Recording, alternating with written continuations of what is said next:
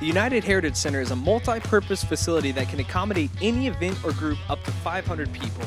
It can be converted into three separate air conditioned party suites on game days that provide large groups with tickets, parking passes, an all inclusive buffet, and more.